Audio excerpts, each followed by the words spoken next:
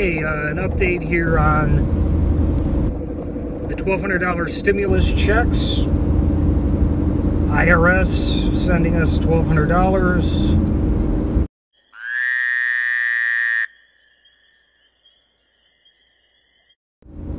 I was told for this message here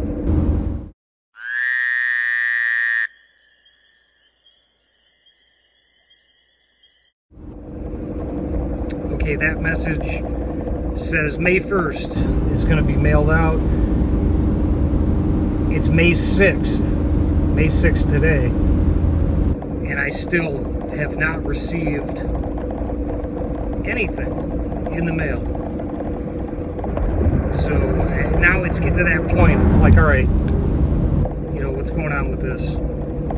Because I was expecting May 3rd, you know, in, in that area to receive check in the mail, but still there's nothing. So, you know, still waiting for that. If you share the same thing, if you did not get yours yet, if you're waiting for the check, if you could comment, I'd love to hear that. Uh, if you were told May 1st that you're getting a check here, do the comment thing. So I, it'd be good to hear. Alrighty.